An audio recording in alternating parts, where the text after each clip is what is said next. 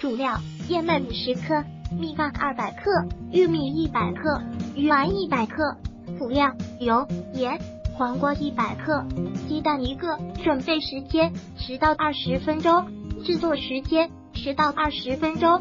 将燕麦和大米一起蒸熟，鱼丸、鸡蛋、玉米、黄瓜准备好，将黄瓜去皮切块，鱼丸切块，将玉米粒入锅煮十分钟，放入鱼丸，加入黄瓜块，搅拌匀，煮五分钟，加入盐，等锅中的汤汁快要收干时，关火，加入蒸好的燕麦米饭，拌匀，装入容器，加入炒好的鸡蛋即可。烹饪技巧，煮制时间二十分钟。如果喜欢本视频，请分享并订阅本频道。